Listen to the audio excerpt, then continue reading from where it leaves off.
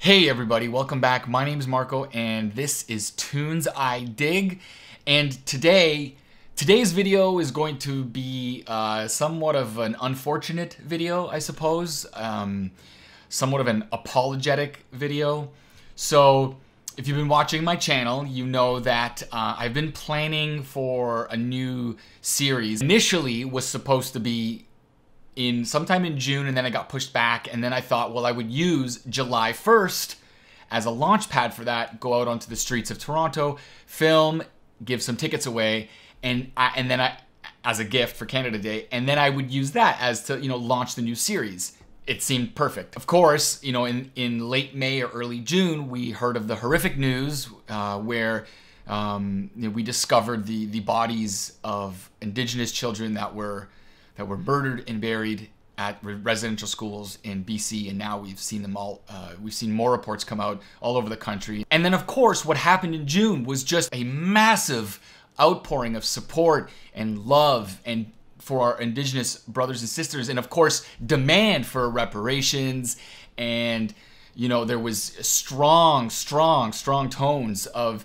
you know what had happened all throughout the juno awards in in june here in, in canada and of course, toward the end of June, there was the Cancel Canada Day you know, movement, the hashtag, what have you. And so that all happened while I was preparing to, you know, potentially film the first video.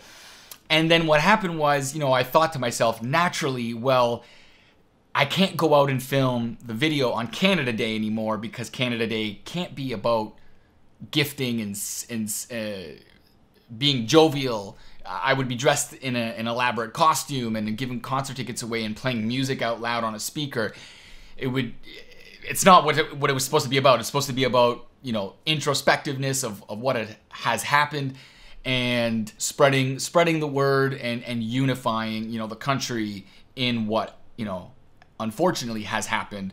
So that's so then what I had planned was not to go out on Canada Day. I'll do it another day. But then I thought that also kind of seems a little bit of a cop out because we could use that day now to go out and maybe you know instead of giving the concert tickets away the way I was going to in a very jovial fashion I can still talk to people on the street you know get in you know get down onto the streets talk to people see how they feel question them and then you know to people that I find that are supporting the movement and just have a good vibe. I was gonna, you know, gift them with concert tickets. And the concert tickets I was gonna gift them was for Crownlands, a, a band from Oshawa, Ontario, in the Greater Toronto area. And Crownlands, it's a two-piece band, and one of the members of Crownlands is Indigenous, and they are, of course, are are very instrumental in this in the in this movement of, of spreading awareness for our Indigenous community. And they were, of course, instrumental in the Cancel Canada Day. They were very, very supportive. And so I thought it would be, you know, it, it would be this perfect exchange of speaking to people on the street, raising awareness, and and gifting on Canada Day, but gifting in a way where we're still keeping people in the realm. Like it wasn't just a random band you know, Crownlands has kind of made it, you know, one of their, you know, one of their missions. They're very, very socially conscious. And so, you know, people would go and see Crownlands, a very amazing band, by the way, and, you know, and then, you know, as they fall in love with Crownlands, because they will, because they're so amazing, and then they will see that Crownlands, you know, is, is, you know, in you know pushing the movement and and that would get the word out faster. So that was kind of like my idea. Like it all it all feeds in, into itself naturally and it's done in a tasteful way. And then make that a video and then post that video and it would just live like that as a standalone video for uh, Canada Day as it were. And then what happened was the Murphy's Law what you don't think will happen does happen and my microphone which is was is broke. My microphone broke. The last time I used my microphone, it was fine. It went into the case. It went into the case, and I put it back where it was supposed to belong. And then when I took it out, it, I plugged it in and I started using it. And right from the first moment that I was recording, it, it just wasn't working. It was cutting in and out, and I, I brought it to a shop, and it turns out it's it, it is broken. I didn't know it was broken at the time, obviously. So the audio that I got from that entire day, which I shot on July 1st, today is July 10th, is um, for all intent it's it's gone. It's it's I tried. I tried to salvage what I could the last 10 days and I couldn't. I, I tried my best. I tried to maybe up the audio because it kept cu- cutting in and out. But in the end, it was just you know when I raised the audio, it just had so much uh, distortion on it, and it, it just didn't look any good. And here I'm, I'm gonna cut to some some footage here. Um, I'm just gonna show you a clip of, of one group of people that I found in the park in, in Trinity Bell, Bellwoods Park. Um, a wonderful group of ladies that was sitting down, and they were so articulate and um, here's a little clip of, of them. This is the raw footage as I took it, and you'll see you'll see how it sounds. And this is basically um, this is the best that I got through all the footage. Some of the people I've recorded, I didn't even record any audio, so I couldn't even raise uh, I couldn't even raise it if I wanted to, which even if I did, it would just sound too too distorted. But anyway, uh, check this out because what I did get, they were very articulate, and it was so nice to capture these ladies on camera. We called it earlier. We called because it tone deaf. Two, two people right over there. That's like a couple that looks very very happy in their red and white. It's just a little tone deaf because. really hurting on this day.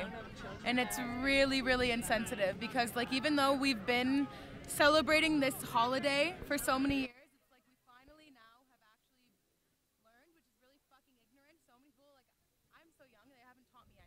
And of course, uh, there we have it. There, um, those those ladies were were so articulate.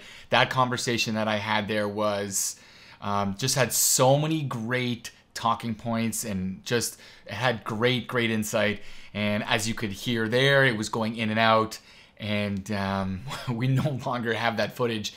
And uh, it's it's sad because you know my intention was to go out into the street and talk to my fellow Canadians, and you know bring the voice and the reason of my fellow Canadians to the video, and uh, and I. I uh, what it, I didn't know. I didn't know that that was going to happen with the microphone. I, oh, it's it's it's so heartbreaking. Um, but but anyway, mo- uh, moving on. Thank you to everyone that was on camera, and uh, for those that I I gave I gave concert tickets away to see Crownlands on December first at the Axis Club here in Toronto on College Street. For those that I gave tickets to, uh, I hope you enjoy the show.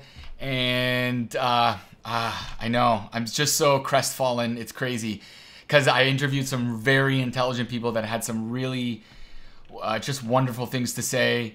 You know, I, am going. I, to make up for it, I will do it again. Um, but I do have you know a schedule and I have things that I need to film. You know, for you know, for example, my microphone. Actually, my microphone in the video, if you saw, there was a yellow uh, microphone um, wind screen. Um, I actually have an orange one. I thought I had misplaced, but I did find it. So going forward, you know, I'm going to add elements to my channel in any way that I can that's going to support our indigenous brothers and sisters. And that way, you know, I'm going to have an orange. Um, that's going to be like a staple. Every time I'm, I'm out on the street filming, and whatever character, whoever I hire, they're always going to have an orange windscreen. Um, but uh, of course, I mean, there's going to be other things that I'm going to do, not just that. I'm just saying, like, um, I'm just building on ways that I can, uh, what's the word? Include, include, and show support for uh, the Indigenous community in Canada. Um, there's going to be many, many more things down the road. This isn't going to be the only one or the only thing. And uh, that's it. That's the end of the video. Uh, thank you so much for watching. And one more time, because I'm so crestfallen, because I really wanted the video to be good, I'm so sorry that this happened. Um, if you want to know, I, I, I added audio monitoring to my camera. And when I do save up and get enough money in the future, I'm going to buy a new camera that already has an audio jack in it. So my cameraman or camera woman uh, can uh, monitor the audio.